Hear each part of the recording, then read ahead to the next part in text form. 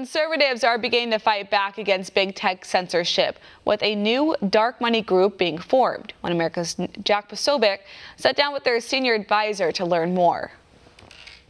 We're very excited to welcome here to One America News Rachel Bovard, the senior advisor to a new group that's just getting started here in Washington, D.C., the Internet Accountability Project. Tell me about IAP. It's a group that has a goal of creating a, an open space for us to have a discussion about what big tech is doing to us as a, as a society from a cultural perspective, but also the bad acts that they've been involved in in terms of sex trafficking, extremism, bias, uh, all these areas we want to be able to discuss in an open way to provide more transparency and accountability to big tech in these areas. So what's going on there and where is this accountability? Because I think that's what people are looking for. There's a huge sort of groundswell of support for accountability on these big tech firms, but our public policy doesn't reflect that.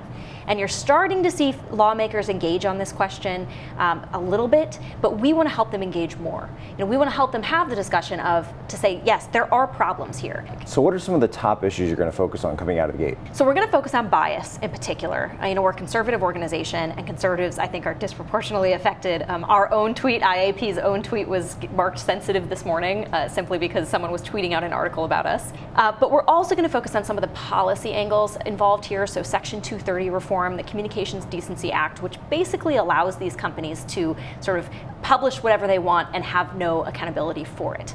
Um, that particular law was written in 1996 when none of these big tech companies existed. So that or that part of the law hasn't really envisioned how we live now in how we relate to these tech companies and how the tech companies relate to us. And there's legislators out there, Senator Josh Hawley from Missouri is one of them, who's put forward uh, modernization bills to sort of look at this you know, we don't know that that's the right answer. It may be, it may not be, but we want more legislators to start investigating this, to start looking at how our laws need to be reformed or updated to keep pace with technological innovation. And the same goes for antitrust. Uh, you've seen just this week, 50 state AGs have come forward with an antitrust investigation into uh, Google. Facebook Google, Amazon, Twitter, they have all of our data and we have no recourse for how they use that. You know, they say trust us, but we've seen elements of where that's not uh, appropriate, right? Google, for instance, says, hey, trust us, we're never going to censor anything. Meanwhile, Google, for four years, ran a government sponsored censorship regime in China.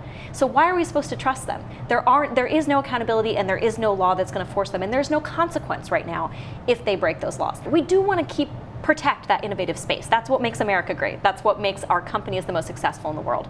We want people to innovate, but we want them to do so in a way that's healthy for our society and in which, you know, people can have choice and options and preferences uh, and free speech. Where can people go to find more information? You can find us at theiap.org, and you can find us obviously on all the social media as well. Fantastic. Rachel Bovard, thank you so much for being on with us. Thanks IAP. for having me. Want to see more videos like this? Click on the link below and subscribe to One America News on YouTube. And call your cable provider and kindly demand that One America News is added to your lineup. Call and subscribe today.